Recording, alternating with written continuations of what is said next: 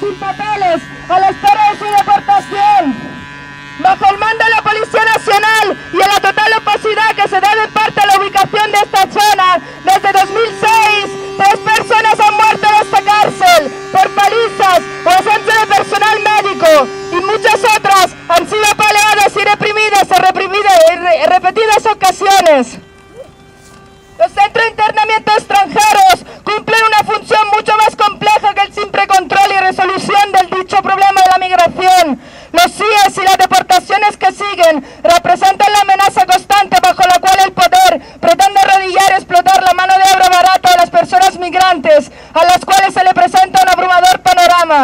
te callas y sigues pacíficamente las normas, o acabarás encerrado y deportado. Normas y leyes que el poder construye para mantener el sistema de privilegio, represión y control que permite el bienestar de unos pocos y la opresión de muchos. El CIE también representa una lucrosa actividad para todas aquellas empresas que sin ningún problema basan su negocio en la construcción, mantenimiento y gestión de la miseria,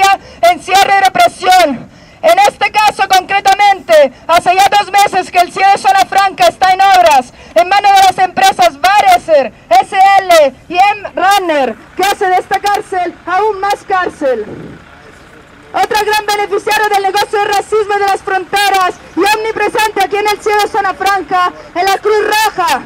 Con un presupuesto de 400 mil euros al año, esta empresa de la compasión se gana la vida como cómplice silenciosa de muchas torturas y violencias policiales, hacia las personas migrantes.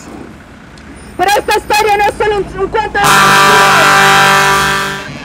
Es también la historia de todas aquellas que se rebelan a este sistema. Es la historia de quien contra viento y marea decide saltar una valla pasar una frontera. Es la historia de los solidarios que con grandes pequeños gestos siguen apoyando desde fuera a las detenidas y siguen